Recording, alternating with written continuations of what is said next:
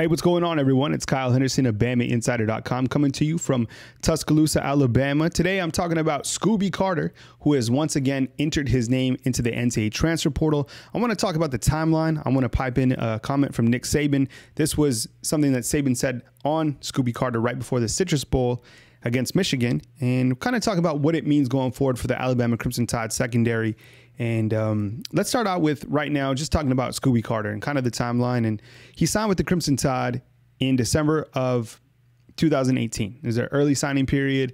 Really excited um, about this commitment coming to Alabama. A lot of people really excited about you know just what he could add to the defensive secondary, being that he's a very versatile player, corner, safety, maybe even a star position as he progressed with the Crimson Tide.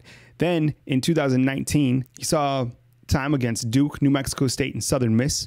Didn't have a lot of stats, obviously, because he only played in three games. Had um, I don't even know if he had a tackle or two. I think he had like two tackles or something like that. Um, ends up redshirting, and in November of 2019, he announces that he is going to enter the NCAA transfer portal. And this is what he said during the first time when he entered the NCAA transfer portal. First, I would like to thank the University of Alabama and the coaches for helping me, allowing me to play the sport. I love it. Such an amazing school. I also want to thank my teammates for always pushing me to be the best. But after talking with my family, I believe it's best for me to rethink my decision and enter my name into the transfer portal. Now, that was back in November of 2019. So, fast forward a little bit. Scooby Carter actually withdraws his name from the NCAA transfer portal on January 16th and here's what Nick Saban had to say just before Carter withdrew his name from the NCAA transfer portal. Um, you know, Scooby can have another opportunity to be on the team. Um, uh, and if he wants to start with the team, you know, next semester in school, uh, we'll give him another opportunity at that time. So, um, you know, he did okay in school, and um, you know, we're trying to be supportive and helpful to get him to do the things that he needs to do to have a chance to be successful as a person, as a student, and as a player. And uh, he will give him an opportunity to come back, you know, next semester if he wants to do that. All right. So now we're in this current semester to start out 2020, and Carter in late February announces that he's going to enter the NCAA transfer portal for a second time. And I think the writing's on the wall. I think that it's you know, this has probably ran its course with Scooby Carter being at Alabama. And I think when you look at the overall depth chart, especially in the secondary group, that, you know, it's going to be hard for Scooby Carter to really cut it out on the field. I mean, right now, um, you know, with the corners coming back, it looks like Josh Jobe will be that corner entering his junior year. You have Ronald Williams, Brandon Turnage. Um, those guys will probably battle it out for the, the other corner spot, along with Jalen Armour Davis.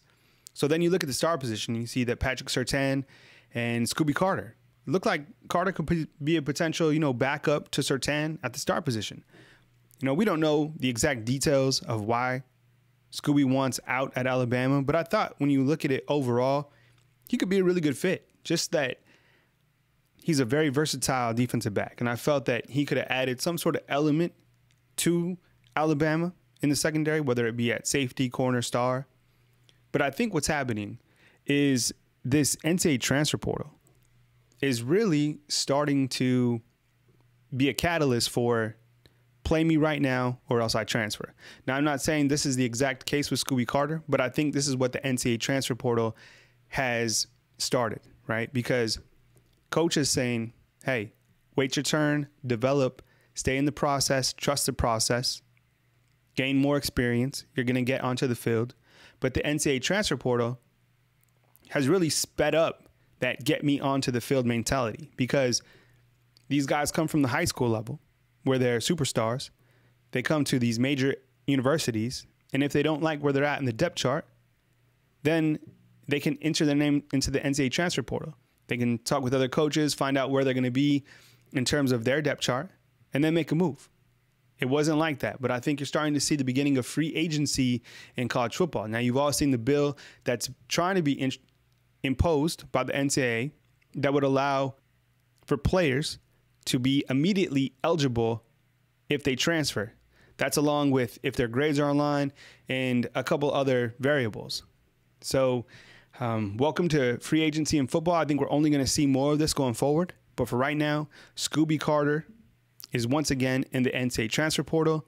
We will keep you posted on his next move on BamaInsider.com. But wanted to bring you this real quick. Scooby Carter, once again, in the NCAA transfer portal. Reporting from Tuscaloosa, Alabama, this is Kyle Henderson of BamaInsider.com.